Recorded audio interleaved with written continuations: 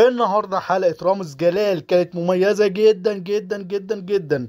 كان فيها النجم الأهلي كهربا والنجم السابق اللي كان آه، في النادي الأهلي عبد الله السعيد واللي اتردم دلوقتي في نادي الزمالك وجمهور الزمالك. بيقول له انت جيت لنا منين يا عم الحاج؟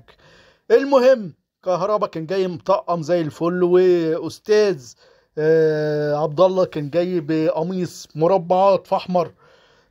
تحس إنه كان جاي من الوكالة أو كان جاي يحلق أو على زي ما كان بيقول رامز كده جاي من آه، المدرسة أو المريالة أو لبس مريالة حاجة زي كده. فبدات الحلقة زي الفل. آه، رامز بيسأل عبد الله السعيد آه، أنت لو آه، الأهلي عرض عليك عرض عليك. نفس القيمة اللي عرضها عليك الزمالك. كنت هت- هتقعد في الأهلي ولا هتروح الزمالك؟ فطبيعي أنا منطقيا واحد زي ها ولغاية دلوقتي موجود في الزمالك هتقول إيه؟ هقول لأ حاجة كنت هروح الزمالك. عامة يعني ما يفرقش كتير. في لو شفتوا دم دم عبد الله الحلو والجميل اللي كان موجود في الحلقة هتلاقي نفس دم الزملكاوية بالظبط. يعني شوف كهربا دمه خفيف إزاي والرياكشن بتاعه من قلبه طبيعي. والناحية التانية حاجة باردة كده. فتلاقيهم الاتنين ماتشنج مع على بعض. آه، اتسأل كهربا من رامز جلال إيه الصفقة اللي توجع أكتر؟ إمام عاشور في الأهلي ولا عبد الله السعيد في الزمالك؟ طبعا آه، كهربا رد رد من إيه؟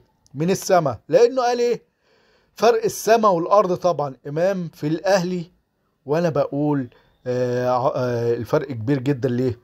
لأن الزمالك خد ماضي الأهلي اللي ما أنجزش معاه حاجة والأهلي هياخد أو خد مستقبل الزمالك اللي هو إمام عاشور وكان قبليه كهربا. وبقول كمان لسه في مستقبل من عند الزمالك هناخده أسامة فيصل بإذن الله.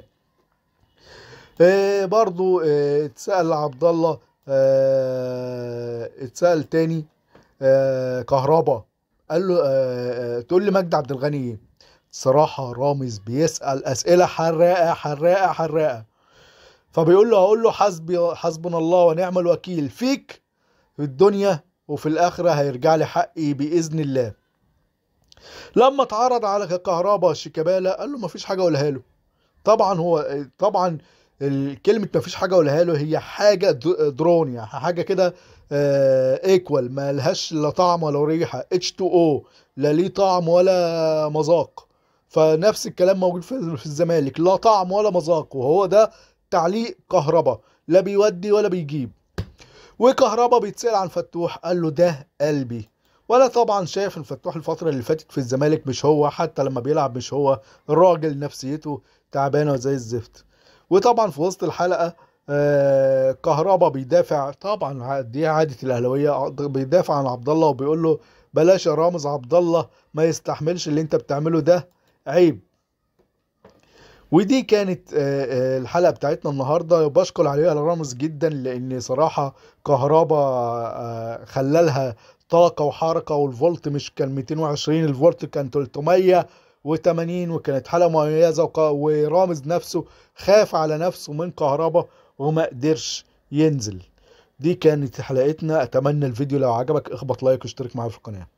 السلام عليكم.